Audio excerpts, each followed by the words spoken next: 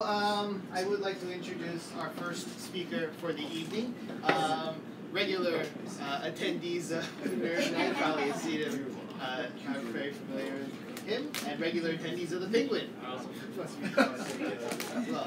Um, so, our first speaker is uh, Dr. Norio Mishima with his presentation titled Solution Focused Brief Therapy Unique Psychotherapy that could be used just after you learned it. All right? Yeah, good evening.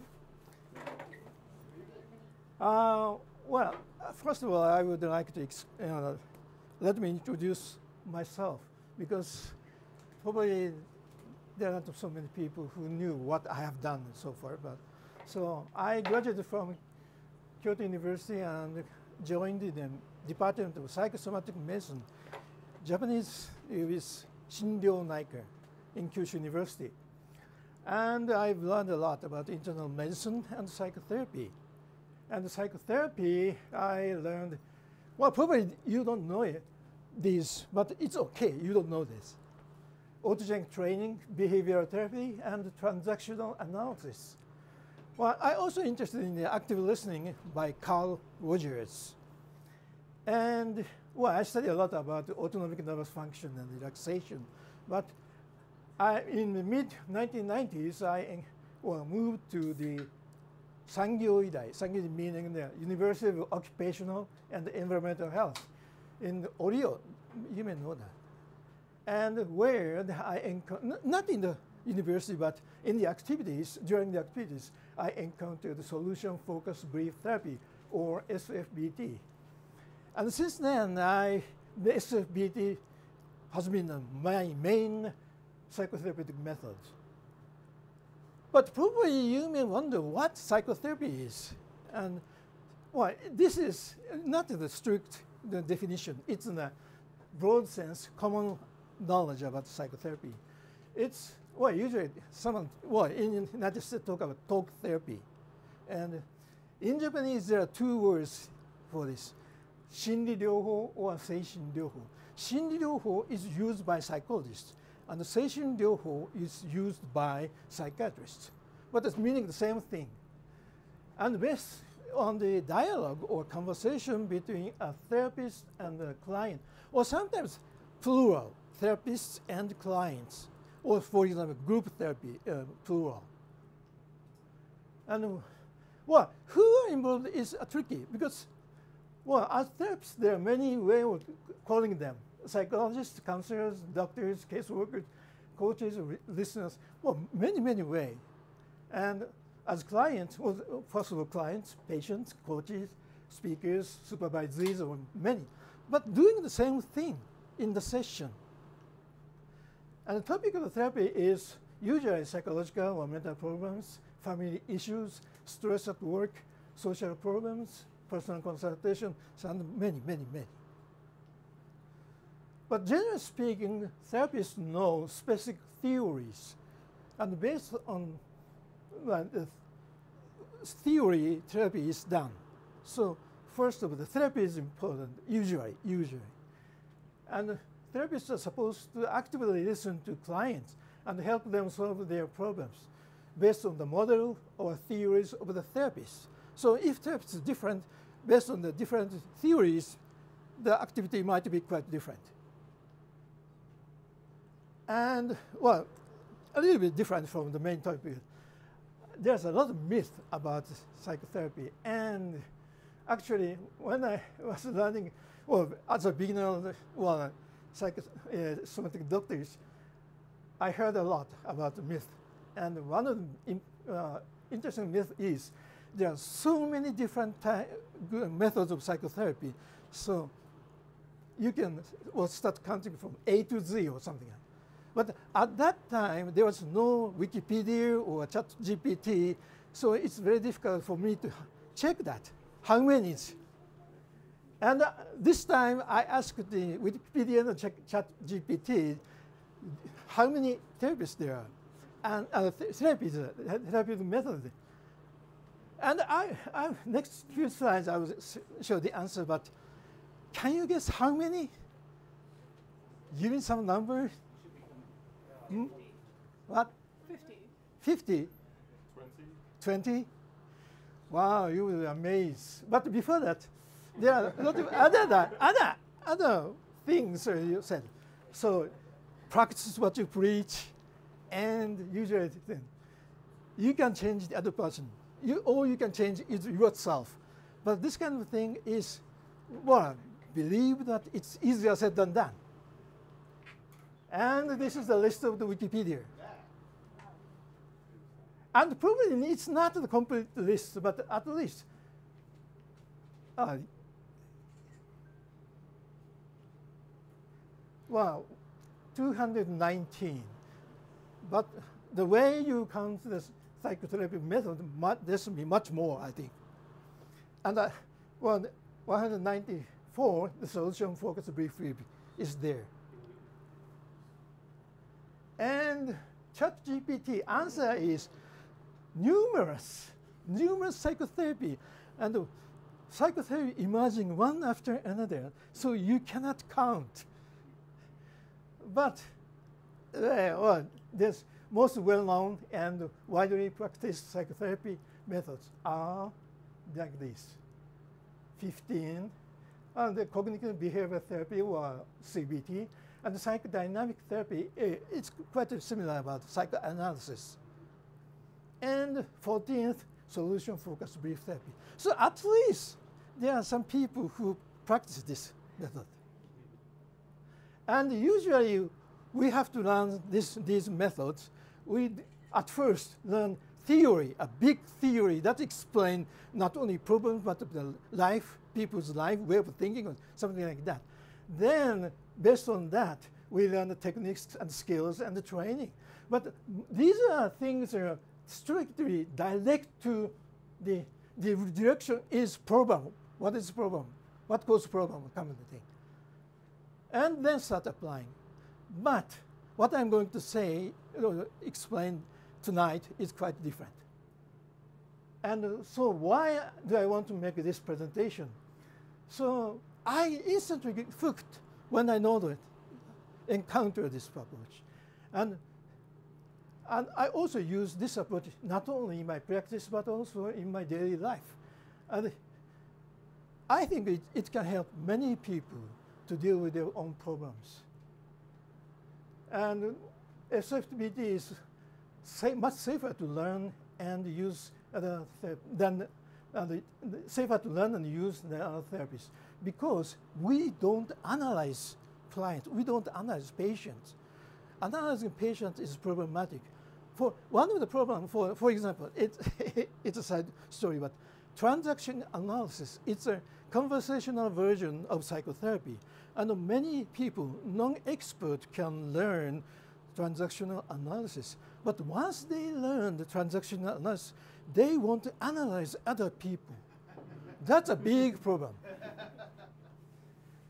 So that, has, that doesn't happen here. And I think this BT is the most consistent ther- therapy.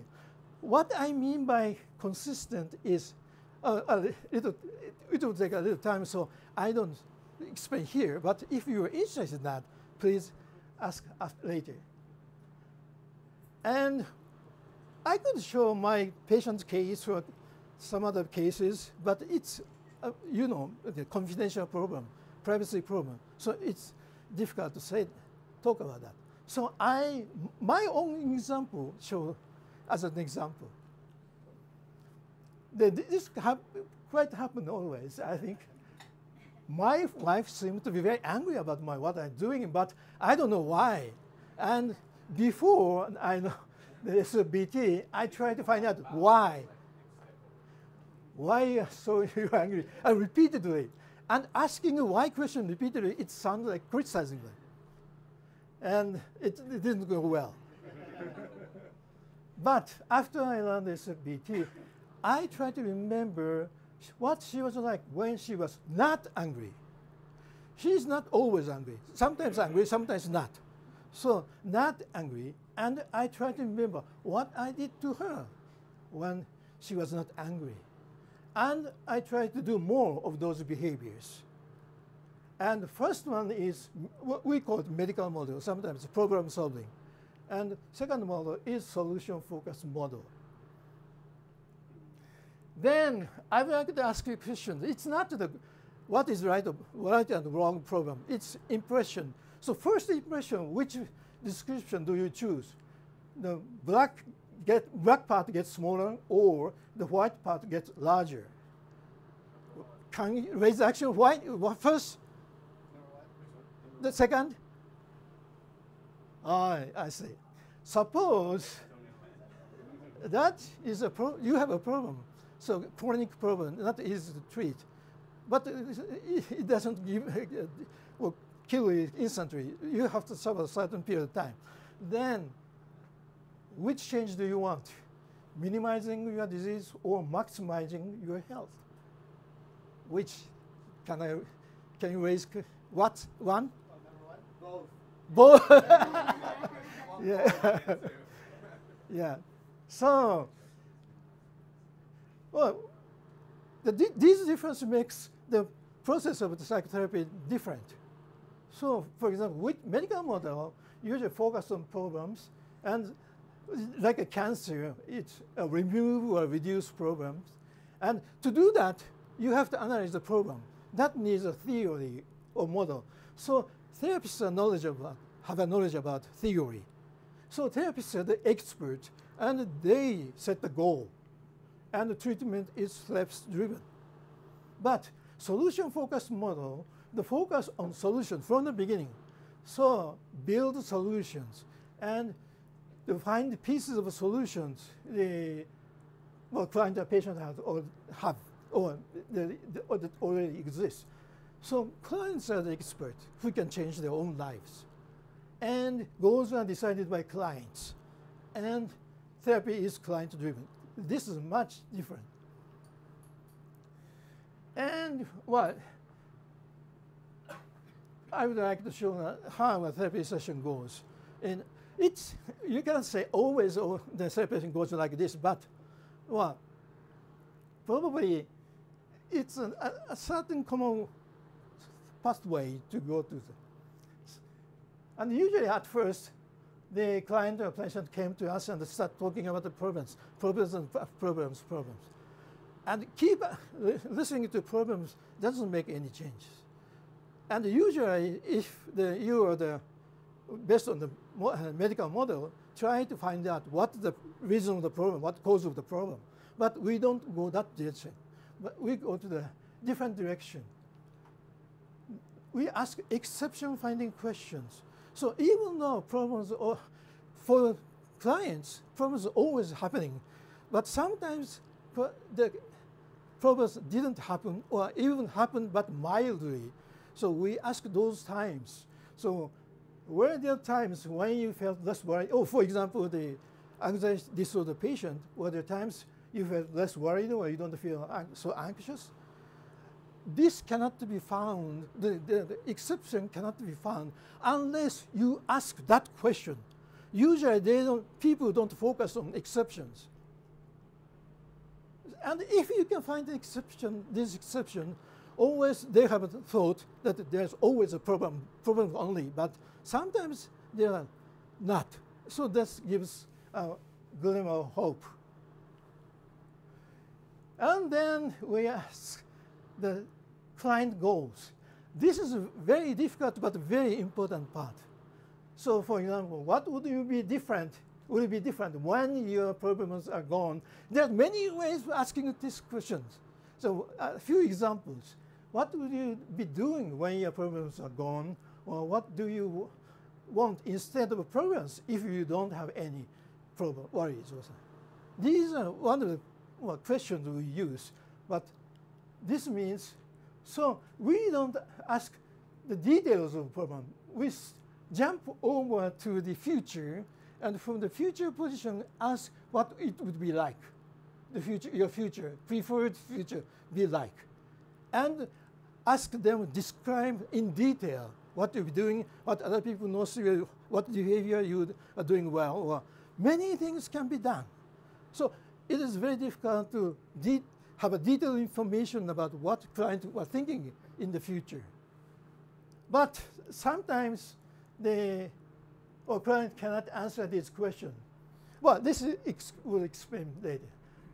And also, this is important part. It's scale. We call it scaling question. So on a scale of one, zero to ten, or sometimes we call, use it one to ten. With zero, uh, this time, this was this zero meaning that the time you were the worst, and ten meaning you're the best. What uh, you are at right now.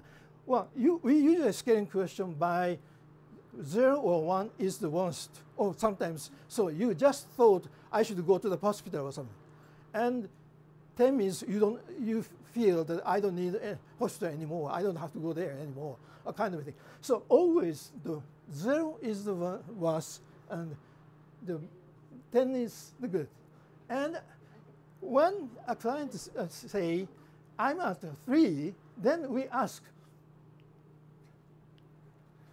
So what a difference so that you can say you are at a 3, not well, instead of 1 or 2. So usually we ask difference from the worst part to the current. But why we don't say anything about this? Most patients, most clients say, I'm not 10 because of this or that. So start problem talking. So we have to be very careful about from a difference must be from zero. And then, so in, in this step, you have to be very careful about listening to that. And also, let them talk about a lot. Even though they had, at first, they don't know. They don't know. I, I don't know what I, I did good or well. But keep asking, persistently keep asking. Then gradually they start talking. Then after that, so what will be different if you move up at the well, this time four. But the problem might be very difficult. Then we will say move up to 3.5 or sometimes four. Or then probably if we go well this at this level, then clients say something very specific and concrete. That might be a next small step. So we, well, at the end of the session, well, they, we summarize what Glenn said and compliment on his hard work, hard work. We'll try. We ask a very difficult question. These are very difficult questions. And uh, finally, we give some suggestion. And why this, well, therapy was born is important. The, this therapy was developed in collaboration with the therapist and the client. But before that, founders was SFBT. The Steve de Shazer, man, well, these guys are so important for us. And but the Steve de Shazer was used to be a saxophonist, jazz musician, and then moved to the social work, clinical work. And Insoo Kim Berg was a Korean, born in Korea, and moved to the United States and at first, the, in Korea, the, she majored pharmacy, but after coming to the United States, they in social work. And both met at the Mental Health Research Institute at Palo Alto, and they created the Brief Family Center, uh, Family Therapy Center in well, the Wisconsin. And this was a kind of the maker for us. And for us, They are the giants, just like Sigmund Freud in psychoanalysis and Aaron T. Beck like cognitive behavioral therapy. And another question to you. So Insoo Kim Berg will have a session with a very difficult client, a woman who has a lot of problems, complex complaint, and she tried to figure out what she wants. So she might have asked that kind of question what needs, what do you think you need to see happen so that you can say, I don't have to come here anymore, any longer? What kind of thing needs to happen? And at she, they tried very, they worked very hard, but they couldn't find an answer to this. And can you guess what Berg did do you think Berg said that you are a difficult person or something? no, she, she was so creative. And that is, Berg picked up the words that client used, then asked, suppose this miracle happens, but it happens while you are sleeping, so you can know it happened. How will you discover it? It happened, and after you have wake up, uh, did. And we, after that, we will start talking about a lot of behaviors. that is the sign of the needs more therapy. So this is the beginning of miracle question. This is very fun. Miracle question I can explain in detail, but it's not time. so again, another example is because, well, at first I make up an academic presentation like things in here. And after I get to receive the, Raymond gave me an instruction, and the instruction is completely different. So, oh, what should I do? And I thought, usually, the many people, what's wrong with the presentation, and try to analyze that. But I didn't take that. So I chose a different one. I tried to imagine what reaction I would get if I could change my draft successfully. I imagine that uh, the audience would be showing some interest and fun. So let me questions and answers.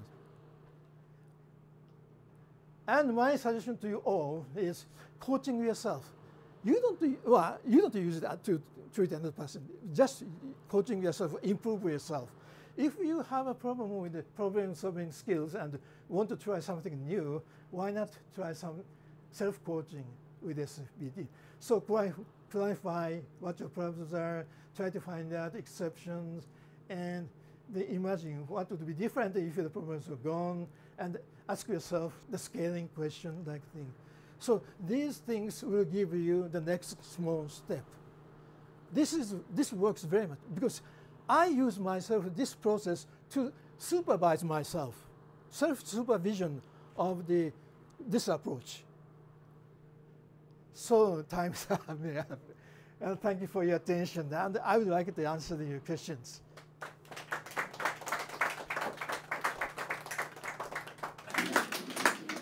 Thank you very much, uh, yeah, we have, wow, that was very good on time, too. Uh, so, yeah, uh, floor is open for questions, so go on ahead. Please. Uh, yeah, so thank you for the very interesting talk. Um, I suppose maybe some clients might say um, there's like, because you, you focus very much on like internal focus, uh, internal focus on solution. But if there's like, if the client perceives an external like forcing, so maybe they feel they want to do something, but they're unable to. Yeah, yeah. How do you feel that this approach? Yeah, well, that's often happens because problems give us a difficult time, and you always try to do something to the problems, and they don't well, focus on the positive part of your life they always worry about something. And if you have something good in your life, they are doing something themselves. They want to do what they want to do, not focusing and remembering the good thing. So in that case, I ask them to remember small thing, even a small thing, but that is good, and so you want them keep going. And ask them to observe that. And the next time I will ask that. Right. If you don't, don't. So even in the context, if, if they feel there, there's external, they can see within that. They yeah, uh, yeah, external, internal, we don't use that kind of thing. So everything, the client's behavior, clients, well, including thinking, how they think, and how they start, try to study. Great, that was a Right. Anybody else have questions? But um, so eight, nine year olds.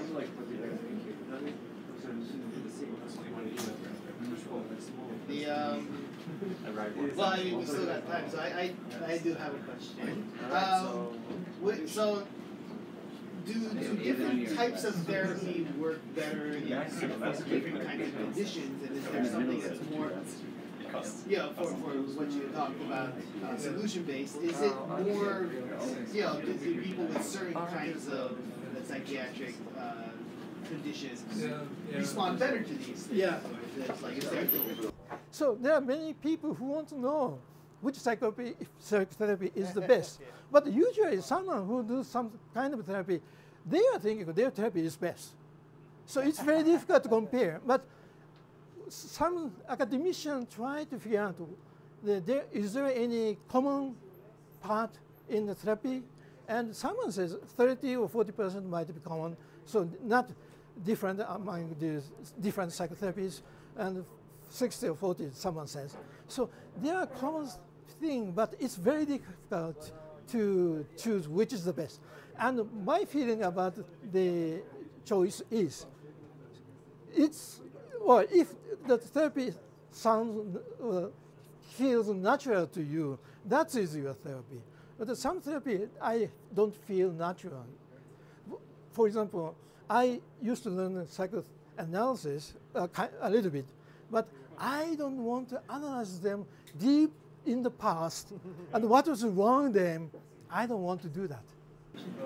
But, I mean, this isn't the question, but like I made a presentation, as you remember, about Jung. Yeah. So I so so I just think it's I think with psychoanalysis, what's very crucial is that it's always an intellectual interpretation. That's the requisite for understanding the problem. Yeah, Freud makes a lot of issues about this. So any psychoanalytic, it's about analysis fundamentally. Whereas what you're describing is before analysis. I mean, that's what this is my question actually. This is my lead into my question. Can this method work in conjunction with a psychoanalytic theory because it's a method fundamentally. Maybe this method is the best for dealing with the problem. Well, it might be possible if that psychoanalyst knows this therapy, then they can talk about that. Yeah, okay. yeah behind the mirrors or something. You have to add another category that's yeah, yeah, yeah, yeah, Yes, yes, yes. yes. Yeah. Sorry, I just had one yeah. question. So, was there no uh, style of therapy that started with the letter Z? Hmm? What? Was there anything that started with the letter Z? Z. is So, well, I talk about that, and so, someone said, so, someone my my colleague said, well, there's a Zen therapy. Zen therapy there. Zen, Zen. Zen. Zen. Zen. Just go play Zelda. Yeah. There, you go. Sorry. Sorry for the uh, interruption. yeah, yeah, yeah. Okay. Yes. Yeah. then I want to add in one thing. So how I, what I said as most consistent therapy is, so suppose you are learning the active listening and you learn from the expert of active listening. The possibility, chances are, the lecturer said something like, your ordinary way of listening is not good enough. You have to learn this. So from the beginning, they well, deny your past experience.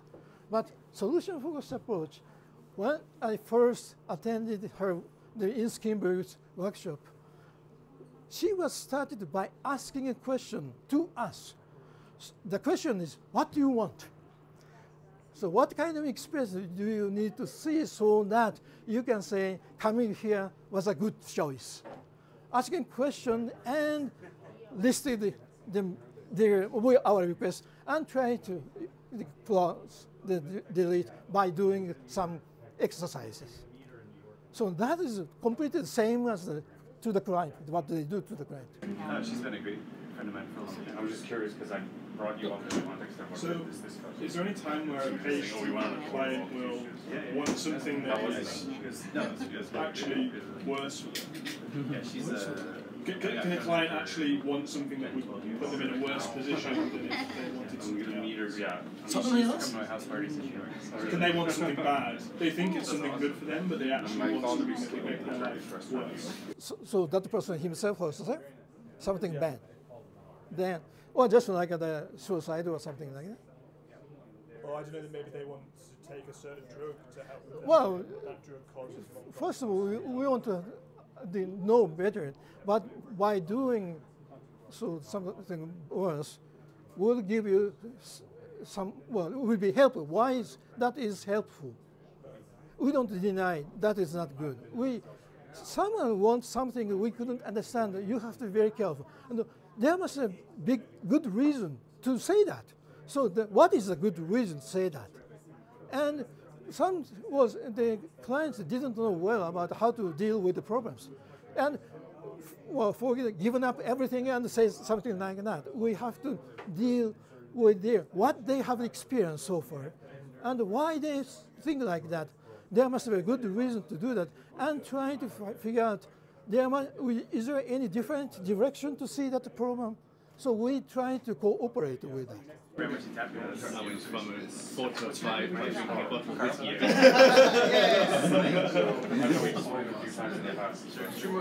have maybe one more quick question. Alright, well, I think it was good. Please do another round of.